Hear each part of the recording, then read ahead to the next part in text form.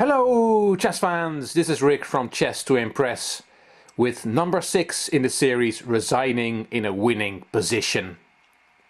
This game was played in the Pan American Championships in 1963 between Rogelio Ortega, the chess champion from Cuba from 1958 and 1966 and the black player is Eduardo Etcheverry the 1962 champion from Uruguay. Let's see what happened in this game. Ortega white, Etcheverry black, e4 from the Cuban and knight f6. e5, knight d5. We are in an Alekhine defense or Aljochin defense, depending on your pronunciation. c4, kicking the knight again, knight b6, d4, d6, f4. White has only made pawn moves, but it's all theory. d takes, f takes, knight c6, bishop e3 finally developing a piece, bishop f5, knight f3, and here the main line is e6, knight c3, bishop e7, and then white plays either d5 or bishop e2. But in, in this game, Etcheverry decided on knight b4. Now there's a threat of knight c2 check, winning the rook in the corner. So knight a3 from Ortega is forced, protecting the c2 square. e6, bishop e2, bishop e7, both players castled, knight e1, f6 to open up to open up the game. Queen b3, f takes, d takes, and c6 to keep the knight on a3, which is not well positioned from the b5 square. The knight goes another route, knight ac2, knight a6, avoiding swapping pieces, knight d4, knight c5 hitting the queen, queen back, queen c7, now white takes on f5, rook takes, rook takes, and e takes. Position is about equal.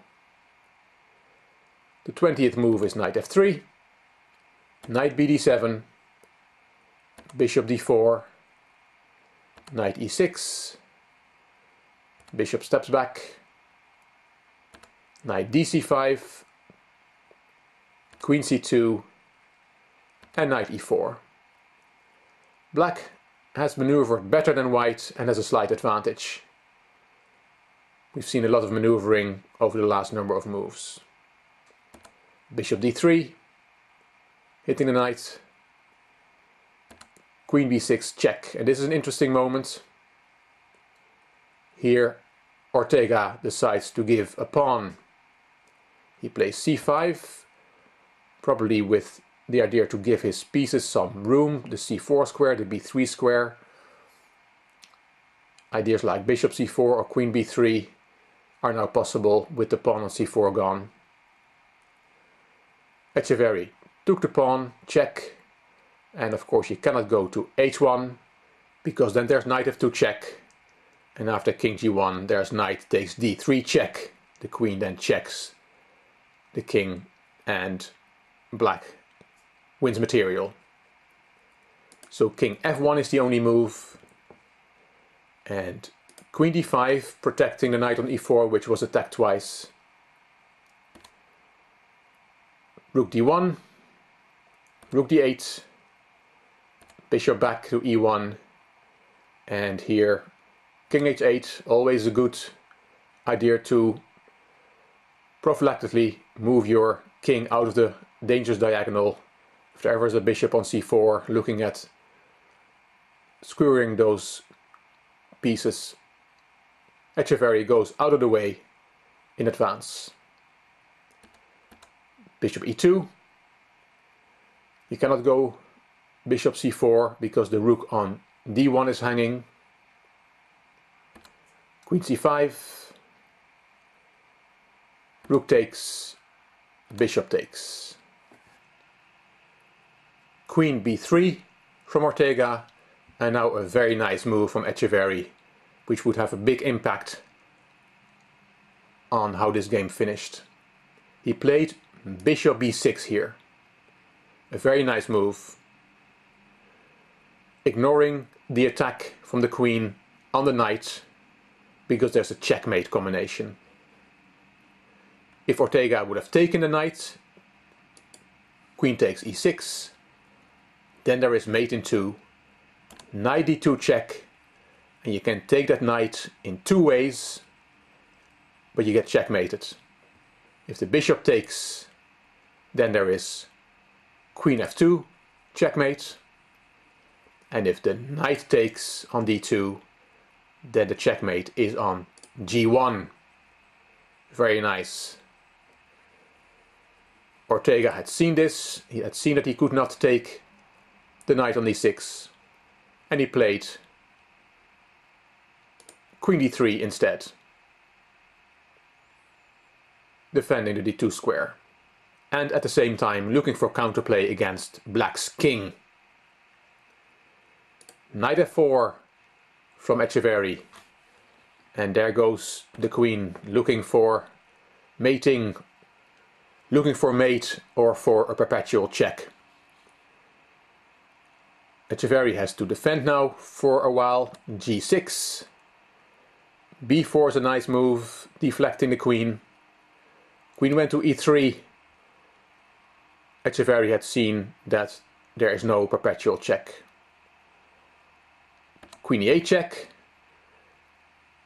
From Ortega, what he should have played here is bishop c4. Of course the bishop is hanging on e2 and playing it to c4. It's hard to believe but this is an equal position. There are four black pieces all over white's king. So it's impossible to believe that he's going to survive this. But with the queen and the bishop into the attack from white, it holds a balance. White has perpetual check options. But Ortega played queen e8 check instead. King g7, queen e7 check, king goes to a6, and queen h4 check. The knight interposes, and now the threat is g6, g5, and the queen is getting boxed in. So Ortega played his queen back to e7, undoubtedly in heavy under heavy time pressure. And now that checkmate combination that we had seen earlier still exists. Knight d2 check and Ortega resigned. It's the same variation as we had seen before, that has two checkmates. If the knight takes on d2, there's queen g1 checkmate and if the bishop takes in on d2, there's queen f2 checkmate. But this is what both players had overlooked. The position of the king, the black king that is, has changed. And queen f2 is now an illegal move. Because the queen is pinned to the bishop on d2. So now white wins the queen and the game it's crystal clear that both players had seen the mating combination earlier. Remember when white could not take the knight on e6 and they saw this combination was still there now and they had rec recognized that because of the very un unlucky, unfortunate position of the king on h6, there's a flaw in this combination. Ortega resigned after knight d2 check and must have had many nightmares of this game. Hope you enjoyed this resigning in a winning position video. If you did, please give it a thumbs up. Please subscribe to my channel and I'm looking forward to your comments. This is Rick from Chess to Impress. Thank you for watching.